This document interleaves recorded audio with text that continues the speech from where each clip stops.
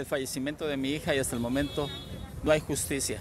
Y es por lo que estamos aquí y esperamos que sea muy pronto. ¿Cómo se siente la familia, su como papá, después de ver este video que Marlon envió desde la clandestinidad? Muy tristes, con mucha impotencia. Realmente eh, se ha estado buscando un, un mes, con un, eh, un, año con un mes, eh, y realmente como es, aparece de, de, la nada con un video y, y, mi pregunta es, ¿la policía cibernética dónde está?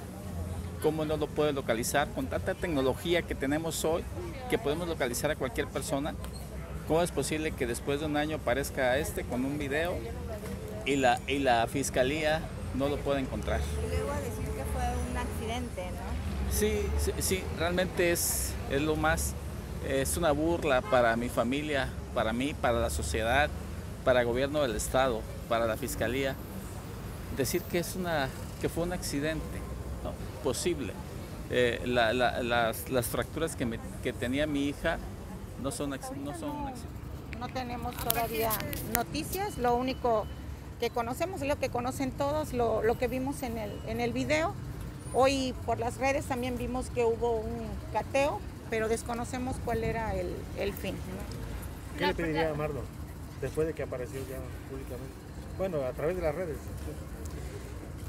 Yo la verdad ya no le pido nada, solo confío en que la fiscalía haga su trabajo, que es la detención. Oiga, eh, la presencia aquí es porque pues finalmente no, no ha habido avances, no, no hay todavía eh, pues resultados de estas. De... Así es, así es. Por eso estamos, estamos aquí. Queremos que la fiscalía y sepa que seguimos presentes y que este, que vamos a seguir haciendo lo que sea posible hasta que se llegue con el feminicidio.